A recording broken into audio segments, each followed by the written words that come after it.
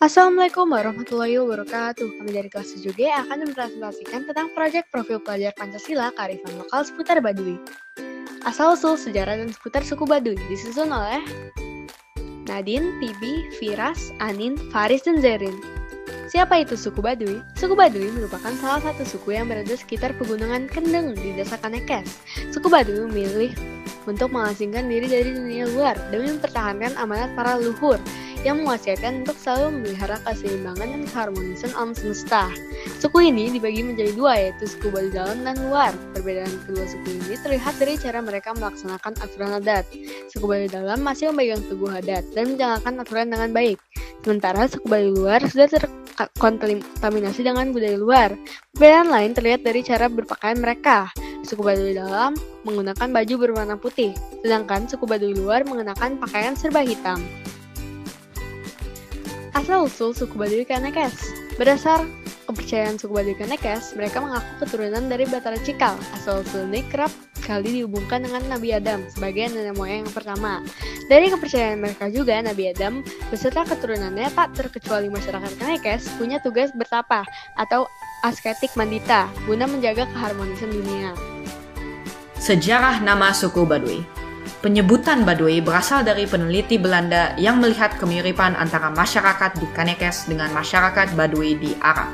Versi lain menyebutkan nama Baduy diambil dari nama sungai yang terletak di bagian utara desa Kanekes, yaitu Sungai Cibaduy. Seputar suku Baduy Agama Kepercayaan yang dianut oleh suku Baduy atau masyarakat Kanekes sendiri sering disebut dengan Sunda Wiwitan.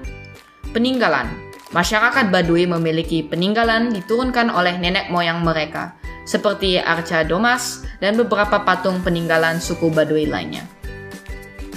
Selanjutnya kami akan menjelaskan tentang adat istiadat suku Baduy. Apa itu adat istiadat? Adat ialah suatu bentuk perwujudan dari kebudayaan. Kemudian, adat digambarkan sebagai tata kelakuan. Adat merupakan sebuah norma atau aturan yang tidak tertulis. Akan tetapi, keberadaannya sangat kuat dan mengikat sehingga siapa saja yang melanggarnya akan dikenakan sanksi yang cukup keras. Tradisi-tradisi di suku Baduy Seba, tradisi Seba Baduy adalah suatu upacara adat yang dilaksanakan untuk kegiatan ritual tahunan. Dimaksud untuk menyerahkan hasil bumi dan menjalin silaturahmi kepada pemerintah Kabupaten Lebak dan Provinsi Banten. Ada Kawalu. Upacara Kawalu di Baduy merupakan bentuk ungkapan rasa terima kasih terhadap Sang Hyang Karsa atas berhasilnya panen padi huma orang Kanekes setiap tahunnya. Lalu Nutu. Tradisi Nutu adalah proses dalam mengolah makanan yakni padi menjadi beras. Cara mengolah beras yang dikenal dengan istilah Nutu ini adalah dengan cara menumbuk. Mandi menggunakan peralatan alami. Ketika mandi, masyarakat Baduy tidak akan menggunakan sabun, sampo, atau pasta gigi mereka biasa memanfaatkan sesuatu yang disediakan oleh alam untuk membersihkan diri. Rumah tanpa semen. Fungsi semen dan batu bata yang biasa digunakan dalam konstruksi rumah konvensional digantikan oleh kayu, bambu, dan bahan-bahan alami lainnya. Masak dengan kayu. Suku Baduy masih memakai cara tradisional untuk mengolah makanan menggunakan kayu bakar. Kesimpulannya adalah, suku Baduy adalah salah satu suku yang berasal dari Indonesia, tepatnya dari Provinsi Banten. Suku Baduy memiliki adat istiadat yang sangat menarik dan berbeda dengan adat istiadat lainnya. Suku Baduy juga memiliki sikap untuk mempertahankan adat istiadatnya dengan cara menolak budaya dari luar. Tujuan dari adat istiadat tersebut adalah untuk melestarikan budaya yang diwariskan dari leluhur mereka agar tidak hilang. Oleh karena itu, suku Baduy menjalankan adat istiadat dalam kehidupan sehari-harinya. Saranan kami adalah Indonesia tak hanya memiliki banyak suku namun juga beragam budaya. Oleh karena itu, marilah kita saling membantu dan melestarikan budaya Indonesia yang beragam. E, contohnya, melestarikan suku Baduy dengan cara mempelajari dan mengenalkan budaya kita ke orang lain. Karena kelestarian budaya Indonesia ada di tangan kita. Bayan masyarakat suku Baduy oleh Aska, Farish, Safa, Noval, Kiara, dan Omar. Pertama adalah kepercayaan masyarakat suku Baduy. Kepercayaan yang dianut oleh masyarakat suku Baduy disebut dengan Sunda Wiwitan. Sunda Wiwitan adalah ajaran leluhur yang berakar pada penghormatan kepada arwah leluhur dan pemujaan pada roh kekuatan alam. Selanjutnya adalah hukum di masyarakat suku Baduy. suku Baduy memiliki hukum, religius maupun sosial. Pelanggar peraturan akan mendapatkan hukuman yang sesuai dengan jenis pelanggaran, yaitu pelanggaran ringan dan pelanggaran berat. Selanjutnya adalah sistem-sistem suku Baduy. Sistem pemerintahan nasional suku Baduy dipimpin oleh Jaro Pemerintah. Sistem adat suku Baduy dipimpin oleh Pun. Sistem yang digunakan untuk pernikahan adalah sistem perjodohan.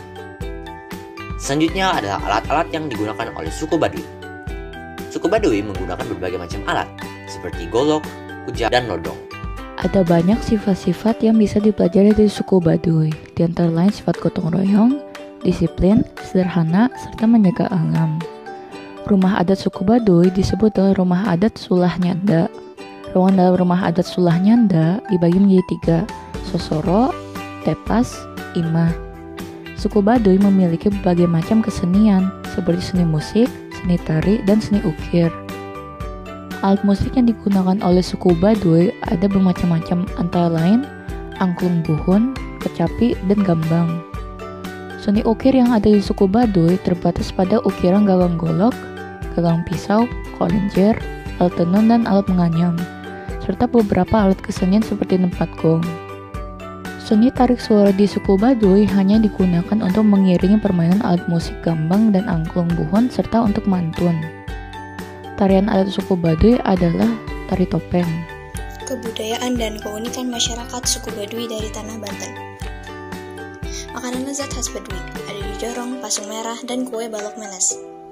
Busana adat khas Baduy.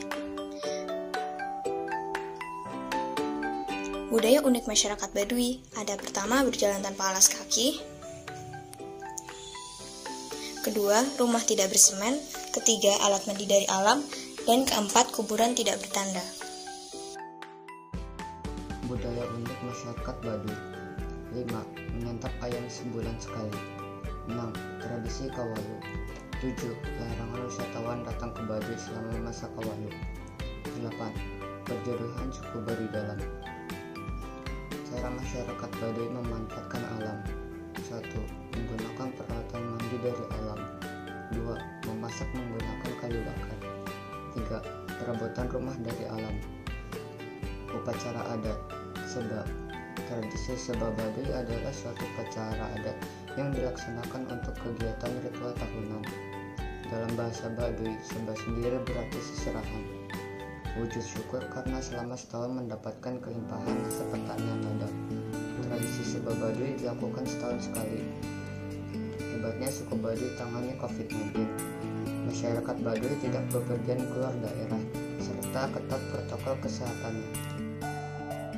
Sekarang kelompok kami akan menjelaskan tentang perekonomian suku Baduy.